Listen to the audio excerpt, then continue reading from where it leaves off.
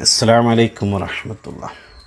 പ്രിയമുള്ളവരെ പരിശുദ്ധമായ റമലാനു ഷെരീഫ് ഒരു വെളിപ്പാടകലെ എത്തി നിൽക്കുന്ന ഈ ഒരു സമയത്ത് നാം ഏവരും വീട്ടിനുള്ളിലോ അല്ലെങ്കിൽ റൂമിനുള്ളിലോ അടങ്ങിയിരിക്കുന്ന ഈ ഒരു സമയത്താണെങ്കിൽ പോലും പരിശുദ്ധമായ റമലാനു ഷെരീഫിനെ വരവേൽക്കാൻ വേണ്ടി കാത്തിരിക്കുകയാണ്.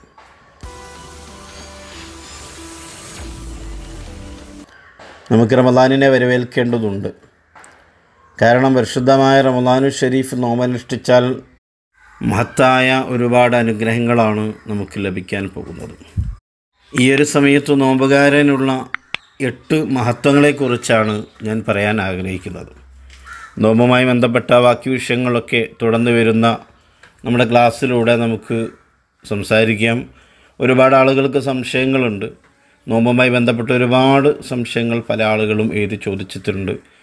അതൊക്കെ ഇൻഷാല്ല അടുത്ത ക്ലാസ്സിലൂടെ നമുക്ക് പറയാൻ ശ്രമിക്കാം. അള്ളാഹു തൗഫീഖ് നൽകുമാറാവട്ടെ. ഇവിടെ നോമ്പുകാരനുള്ള എട്ട് മഹത്വങ്ങളെക്കുറിച്ച് നാം പറയുകയാണ്. റസൂലി സ്വല്ലല്ലാഹു അലൈഹി വസ്ലം മതങ്ങൾ പറഞ്ഞു നോമ്പുകാരന്റെ ഉറക്കം ഇബാദത്താണ് എന്ന്. അപ്പോൾ ഒന്നാമത്തെ മഹത്വം അത് തന്നെയാണ്. നോമ്പുകാരന്റെ ഉറക്കം അത് ഇബാദത്താണ്.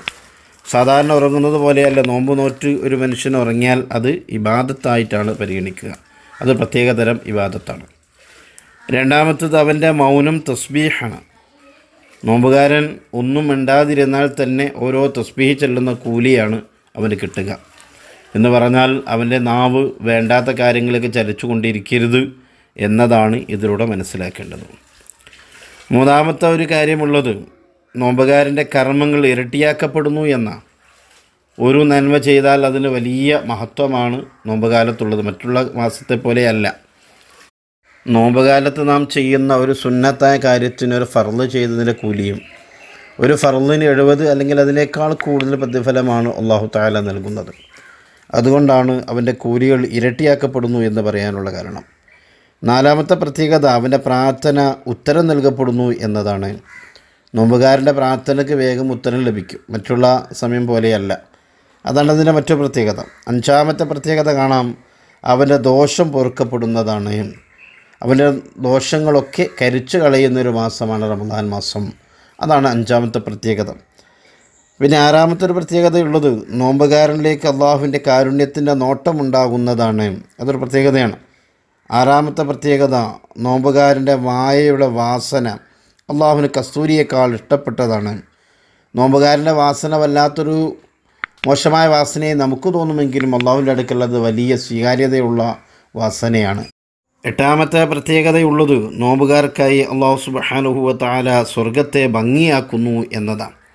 ഇങ്ങനെ എട്ട് പ്രത്യേകതകൾ നോമ്പ് നോൽക്കുന്ന ആൾക്ക് ഉണ്ട് എന്നതാണ് കിതാബുൽ ഇർഷാദിന്റെ അറുപത്തി ഒൻപതാമത്തെ പേജിലും തെർഹീബിന്റെ രണ്ടാം വാർഡും തൊണ്ണൂറ്റി രണ്ടാമത്തെ പേജിലും വിശദീകരിച്ചിട്ടുള്ളത്.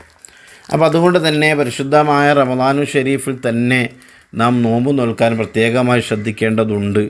വല്ല കാരണത്താലും നോമ്പ് ഉപേക്ഷിക്കേണ്ടി വന്നാൽ വളരെ പെട്ടെന്ന് തന്നെ അത് നോമ്പ് നോറ്റുവിടാനുള്ള ഒരു സംവിധാനം നാം കാണുകയും അതിൽ ജാഗ്രത പുലർത്തുകയും ചെയ്യണമെന്ന് എന്നോടും നിങ്ങളോടും ഒരു വസീയത്ത് രൂപേണ പറഞ്ഞ് ഈ വിഷയം ഞാനിവിടെ അവസാനിപ്പിക്കുന്നു. ഇൻഷാ അള്ളാ. നോമ്പുമായി ബന്ധപ്പെട്ട നിങ്ങളെ ചോദ്യങ്ങൾ നിങ്ങൾക്കുള്ള സംശയങ്ങളൊക്കെ ഇതിനെ കമന്റ് ബോക്സിലൂടെ നിങ്ങൾക്ക് രേഖപ്പെടുത്താം.